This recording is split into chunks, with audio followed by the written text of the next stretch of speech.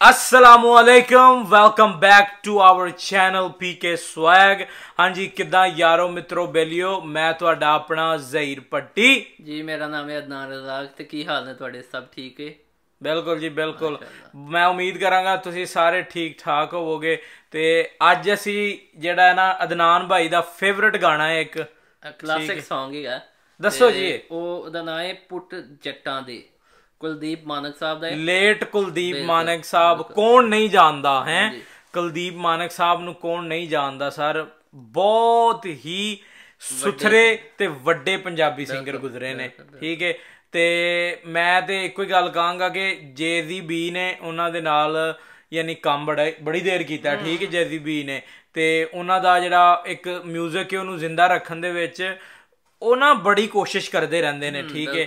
ਤੇ ਇਹ ਗਾਣਾ ਜਿਹੜਾ ਐਵੇਂ ਪੁੱਤ ਜੱਟਾਂ ਦੇ ਕੁਲਦੀਪ ਮਾਨਕ ਤੇ ਇੱਕ ਫਿਲਮ ਆਈ ਸੀ ਇਹ ਬਨਾਰਸੀ ਮੂਵੀ ਦਾ ਨਾਮ ਉਹਦੇ ਵਿੱਚ ਆਈ ਇਹ- ਇਹਦੀ ਇਹਦੇ ਤੇ ਸ਼ੂਟ ਕੀਤਾ ਗਿਆ ਸੀ ਉਹਨਾਂ ਬਿੰਨੂ ਢਿੱਲੋਂ ਤੇ। ਤੇ ਪ੍ਰਾਚੀ ਤਹਿਲਾਨ ਸਮਥਿੰਗ ਠੀਕ ਹੈ ਜੀ। ਬਿੰਨੂ ਢਿੱਲੋਂ ਦੇ ਪ੍ਰਾਚੀ ਦਾ ਵਿੱਚ ਗਾਣਾ ਜੀ ਸ਼ੂਟਿੰਗ ਉਹਨਾਂ ਦੇ ਕੀਤੀ ਗਈ ਹੈ ਤੇ ਕੁਲਦੀਪ ਮਾਨਕ ਸਾਹਿਬ ਦਾ ਗਾਣਾ ਹੈ। ਤੇ rest in peace before we wasting any time let's get started ਹਾਂ ਜੀ। ਟਰੈਕਟਰ ਨੀ ਪੁੱਤ ਜੱਟਾਂ ਦਾ ਹਰ ਪਾਉਂਦਾ ਵੱਡੇ ਤੜਕੇ ਦਾ।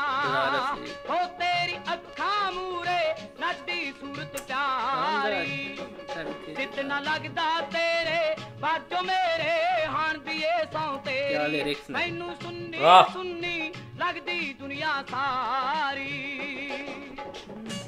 ਆਪੀ ਚਾਹ ਰਹੇ ਟਰੈਕਟਰ ਨੂੰ ਰੇਸ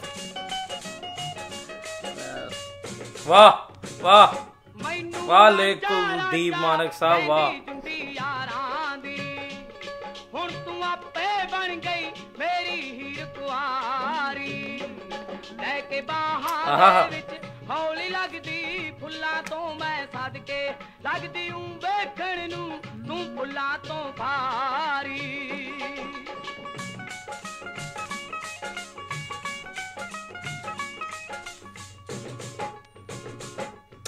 ਕਮਾਨ ਸੇਲੀਆਂ ਅੱਖਾਂ ਕਾਲੇ ਮਿਰਗ ਦੀਆਂ। ਹੋ ਸੀਨੇ ਥਸਦੀ ਜਾਂਦੀ ਨੀ ਸੁਰਮੇ ਦੀ ਧਾਰੀ। ਲੋਕੀ ਸੋਹਣੀ ਕਹਿੰਦੇ ਮਹੀਵਾਲ ਦੀ ਸੋਹਣੀ ਨੂੰ ਨੀ ਕੁੜੀਏ। ਤੇਰੇ ਪਾਸ ਇੱਕ ਨਹੀਂ ਸੀ ਹੋਣੀ ਉਹ ਵਿਚਾਰੀ।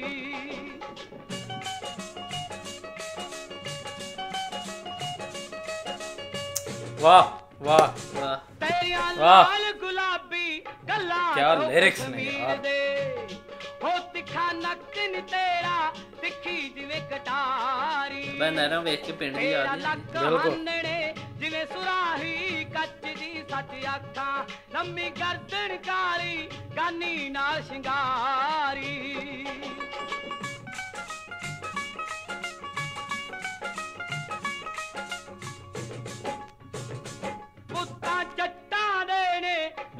ਤਖਤ ਲਾਹੌਰ ਦਾ। ਉਹ ਲੋਕੀ ਕਹਿਣ ਲੈ ਗਿਆ ਹੁਸਨਾ ਦੀ ਸਰਦਾਰੀ। ਸਹਿਬਾ ਵਾਂਗੂ ਆਹਾ। ਤੂੰ ਕੌਲਾ ਤੋਂ ਹਾਰੀ ਨਾ ਮੈਂ ਸਦਕੇ। ਮਿਰਜ਼ਾ ਜੱਟ ਮਰਵਾਇਆ ਜੱਗ ਤੋਂ ਮੌਤ ਨਿਆਰੀ। ਹਾਏ। ਵਾਹ। ਵਾਹ, ਵਾਹ ਜੀ ਵਾਹ ਵਾਹ। ਬਾਬਾ ਲਿਰਿਕਸ ਜਿਹੜੇ ਨਾ ਦਿਲਾਂ ਮਤਲਬ ਦਿਲ ਨੂੰ ਜਿਹੜਾ ਨਾ ਛੂੰਦੇ ਨੇ ਲਿਰਿਕਸ ਜਿਹੜੇ ਨੇ। ਕਿੰਨੀ ਦੇਰ ਹੋ ਗਈ ਹੋਣੀ ਇਸ ਗਾਣੇ ਨੂੰ? ਆਈ ਡੋਨਟ ਨੋ ਐਗਜ਼ੈਕਟਲੀ ਕਿੰਨਾ 15-20 ਪੁਰਾਣਾ ਹੈ, ਸਾਲ ਦੇ ਹੋ ਗਏ ਹੋਣੇ ਬਹੁਤ ਪੁਰਾਣਾ ਹੈ ਕਾਫੀ ਪੁਰਾਣਾ ਹੈ ਤੇ ਕੋਈ ਮੇਰਾ ਠੀਕ ਹੈ। 35 30 35 ਸਾਲ ਮੇਬੀ ਇਹ ਤੋਂ ਵੀ ਪੁਰਾਣਾ ਹੋਏਗਾ। ਸਾਡੀਆਂ ਪਦੈਸ਼ਾਂ ਤੋਂ ਵੀ ਪਹਿਲਾਂ ਦਾ ਹੈ ਗਾਣਾ। ਲੇਕਿਨ ਜਦੋਂ ਅੱਜ ਵੀ ਚੱਲਦਾ ਹੈ ਤੇ ਇੱਕ ਉਹਦੀ ਕੰਪੋਜੀਸ਼ਨ ਹੈ ਹੈ ਇੱਕ ਉਹਦੇ ਵਿੱਚ ਸਮਝ ਲੈ ਇੱਕ ਰੂਹ ਪੈਦਾ ਕਰ ਦਿੰਦੇ ਨੇ। ਹੈ। ਐਵੇਂ ਐਵੇਂ ਦੀ ਗਾਣਾ ਹੈ ਤੇ ਬਹੁਤ ਲਿਰਿਕਸ ਜਿਹੜੇ ਨੇ ਉਹ ਉਹ ਪਿੰਡ ਪਿੰਡ ਦੇ ਉੱਤੇ ਮਤਲਬ ਸਮਝ ਲਓ ਕੋਨਾ ਬਣਾਇਆ ਲੇਕਿਨ ਜੱਟ ਦੇ ਉੱਤੇ ਜਿਹੜਾ ਨਾ ਉਹਨਾਂ ਨੇ ਉਹ ਲਿਰਿਕਸ ਲਿਖੇ ਗਏ ਨੇ। ਜੱਟਾਂ ਦੇ ਮੁੰਡੇ ਜਿਹੜੇ ਉਹ ਸਵੇਰ ਸਵੇਰ ਉੱਠਦਾ ਤੇ ਉਹ ਹੱਲ ਵੰਦਾ ਜਾਂ ਜੋ ਬਿਲਕੁਲ ਬਿਲਕੁਲ। ਪੂਰੀ ਸਟੋਰੀ ਦੱਸੀ ਗਈ ਨਾ ਲਿਰਿਕਸ ਦਾ ਮਕਸਦ ਹੈ ਵੇ ਕਿ ਤੁਸੀਂ ਉਹਦੇ ਵਿੱਚ ਪੂਰੀ ਇੱਕ ਸਟੋਰੀ ਸਟੋਰੀ ਟੈਲਿੰਗ ਨੈਰੇਟਿਵ ਜਿਹੜਾ ਹੁੰਦਾ ਨਾ ਉਹ ਬੜਾ ਹੀ ਜ਼ਰੂਰੀ ਹੁੰਦਾ ਹੈ। ਠੀਕ ਹੈ ਤੇ ਬੜਾ ਹੀ ਜ਼ਬਰਦਸਤ ਤਰੀਕੇ ਨਾਲ ਸਹੀ ਸਾਡੇ ਲਈ ਤੇ ਜੀ ਧੰਨਵਾਦ ਹੈ ਬਹੁਤ ਬਹੁਤ ਲੇਟ ਲੇਟ ਕੁਲਦੀਪ ਮਾਨਕ ਸਾਹਿਬ ਨੂੰ ਰੱਬ ਉਹਨਾਂ ਨੂੰ ਕੀ ਉਹਨੂੰ ਕਹਿੰਦੇ ਨੇ ਨਾ ਚੰਗਿਆਂ ਮੁਕਾਮਾਂ ਦੇ ਪਹੁੰਚਾਏ। ਠੀਕ ਹੈ ਤੇ ਉਹ ਬਹੁਤ ਜਲਦੀ ਕੇ ਤੁਰ ਗਏ ਨੇ ਇਸ ਦੁਨੀਆ ਤੋਂ ਠੀਕ ਹੈ ਤੇ ਬਹੁਤ ਬਹੁਤ ਹੀ ਜ਼ਬਰਦਸਤ ਤਰੀਕੇ ਨਾਲ ਗਾਣੇ ਨੂੰ ਪੇਸ਼ ਕੀਤਾ ਜੀ। ਫਿਲਮ ਦੇ ਵਿੱਚ ਜਿਨ੍ਹਾਂ ਨੇ ਗਾਣਾ ਲਿਆ ਹੈ ਉਹ ਵੀ ਕੀ ਉਹਨੂੰ ਕਹਿੰਦੇ ਨੇ ਬੜਾ ਹੀ ਸੋਚ ਸਮਝ ਕੇ ਉਹਨਾਂ ਲਿਆ ਹੋਣਾ ਇਸ ਫਿਲਮ ਦੇ ਵਿੱਚ ਗਾਣਾ। ਠੀਕ ਹੈ ਇਹ ਗਾਣਾ ਜਿਹੜਾ ਹੈ ਉਹ ਮਤਲਬ ਕਲਾਸਿਕ Song ਹੀ ਤੇ ਦੂਸਰਾ ਲੋਕਾਂ ਨੂੰ ਪਤਾ ਹੈ ਇਸ ਗਾਣੇ ਦਾ। ਲੋਕੀ ਜਾਣਦੇ ਨੇ ਇਸ ਗਾਣੇ ਨੂੰ ਤੇ ਉਹਨਾਂ ਅਗਰ ਉਹ ਮੂਵੀ ਦੇ ਵਿੱਚ ਲਿਆ ਤੇ ਉਸ ਉਸ ਦੀ ਉਹਦੀ ਇੱਕ ਵਜ੍ਹਾ ਸੀ ਉਹਨਾਂ ਨੂੰ ਬਿਲਕੁਲ ਮੈਂ ਨਾ ਪਰਸਨਲੀ ਤੌਰ ਤੇ ਬਹੁਤ ਜ਼ਿਆਦਾ ਇੰਟਰਸਟਿਡ ਆ ਪੰਜਾਬ ਦੀ ਹਿਸਟਰੀ ਦੇ ਬਾਰੇ। ਅਸੀਂ ਆਪਸ ਵਿੱਚ ਗੱਲਾਂ ਇਹਨਾਂ ਕਰਦੇ ਦਾ ਰਹਿੰਦੇ ਅਸਲ ਆ ਨਾਮ ਜਿਹੜਾ ਸੀ ਲਤੀਫ ਮੁਹੰਮਦ ਖਾਨ ਸੀ ਇਹਨਾਂ ਦਾ। ਅੱਛਾ। ਹਾਂਜੀ। ਤੇ ਲੁਧਿਆਣੇ ਦੇ ਵਿੱਚ ਬਠਿੰਡਾ ਐਕਚੁਅਲੀ ਬਠਿੰਡਾ ਦੇ ਵਿੱਚ ਜਿਹੜਾ ਵਿਕੀਪੀਡੀਆ ਤੋਂ ਦੱਸ ਰਹੇ 1951 ਦੇ ਵਿੱਚ ਪੈਦਾ ਹੋਏ ਸਨ ਹੈ। ਲੇ ਲੇਟ ਕੁਲਦੀਪ ਮਾਨਕ ਸਾਹਿਬ ਬਠਿੰਡਾ ਦੇ ਵਿੱਚ ਪੈਦਾ ਹੋਏ ਸਨ ਹੈਂ। 2011 ਦੇ ਵਿੱਚ ਇਹ ਫੋਟ ਹੋਏ ਨੇ। 2011 ਦੇ ਵਿੱਚ ਇਹਨਾਂ ਦੀ ਡੈਥ ਹੋ ਗਈ ਹੈ। ਠੀਕ ਹੈ ਤੇ ਅੱਲਾਹ ਪਾਕ ਇਹਨਾਂ ਨੂੰ ਬਹੁਤ ਬਹੁਤ ਅਜਰ ਤੇ ਮਕਾਮ عطا ਫਰਮਾਏ ਠੀਕ ਹੈ ਇਹਨਾਂ ਦੀ ਰਹਿਮਤ ਕਰੇ ਤੇ ਅਸੀਂ ਨਾ ਬਹੁਤ ਜ਼ਿਆਦਾ ਇੰਟਰਸਟਿਡ ਆ ਸਾਡੇ ਪੰਜਾਬ ਦੀ ਹਿਸਟਰੀ ਦੇ ਬਾਰੇ 'ਚ ਅਗਰ ਤੁਹਾਨੂੰ ਕੁਝ ਜ਼ਿਆਦਾ ਕਿਸੇ ਗੱਲ ਦਾ ਪਤਾ ਹੈ ਠੀਕ ਹੈ ਕਮੈਂਟ ਕਰਕੇ ਦੱਸਿਓ ਸਾਨੂੰ ਵੀ। ਅਸੀਂ ਵੀ ਸਿੱਖਣਾ ਚਾਹੁੰਦੇ ਆ ਨਵੀਆਂ ਚੀਜ਼ਾਂ। ਅਗਰ ਤੁਸੀਂ ਚਾਹੁੰਦੇ ਹੋ ਕਿ ਅਸੀਂ ਕਿਸੇ ਹੋਰ ਗਾਣੇ ਦੇ ਉੱਤੇ ਰਿਐਕਸ਼ਨ ਦਈਏ ਜਾਂ ਕਲਾਸਿਕ Song ਜਿਹੜਾ ਹੈ ਉਹ- ਉਹਦੇ ਤੇ ਵੀ ਅਸੀਂ ਦਿੰਨੇ ਆ ਅਸੀਂ ਬਸ ਇੰਟਰਸਟਿਡ ਆ ਪੰਜਾਬ ਦੀ ਹਿਸਟਰੀ ਦੇ ਬਾਰੇ ਚ ਕਿ ਚੜਦਾ ਪੰਜਾਬ ਤੇ ਲਹਿਦਾ ਇਸੇ ਲਈ ਪੰਜਾਬ। ਅਸੀਂ ਜੁੜੇ ਵੀ ਇਸ ਵੇਲੇ ਆ ਮਤਲਬ ਗੱਲ ਵੀ ਅਸੀਂ ਦੀ ਕਰ ਰਹੇ ਹਾਂ ਕਲਾਸਿਕ Song ਦੀ ਕਿ ਸਿਰਫ ਇਹ ਨਹੀਂ ਕਿ ਨਵੇਂ Song ਆਣ ਉਹਦੇ ਵਿੱਚ ਪੁਰਾਣੀ ਹਿਸਟਰੀ ਵੀ ਹੋਏ। ਲੋਕਾਂ ਨੂੰ ਪਤਾ ਹੋਏ ਕਿ ਸਾਡਾ ਪਿਛੋਕੜ ਕੀ ਹੈਗਾ।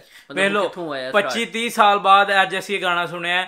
ਠੀਕ ਹੈ ਤੇ ਇੰਜ ਲੱਗਦਾ ਜਿਵੇਂ ਅੱਜ ਆਇਆ ਗਾਣਾ। ਬਿਲਕੁਲ, ਉਹ ਇਹਦੇ ਚ ਇੱਕ ਜਾਨ ਇੱਕ ਰੂਹ ਹੈ ਤੇ ਬਹੁਤ ਬਹੁਤ ਸ਼ੁਕਰੀਆ ਤੁਹਾਡਾ। ਅਗਰ ਤੁਸੀਂ ਅਜੇ ਤੱਕ ਇਹ ਚੈਨਲ ਸਬਸਕ੍ਰਾਈਬ ਨਹੀਂ ਕੀਤਾ ਤੇ ਚੈਨਲ ਸਬਸਕ੍ਰਾਈਬ ਕਰੋ। ਠੀਕ ਹੈ ਖੁਸ਼ ਰਹੋ ਖੁਸ਼ੀਆਂ ਵੰਡੋ ਤੇ ਅੱਲਾ ਹਾਫਿਜ਼। ਓਕੇ ਜੀ ਤਾਂ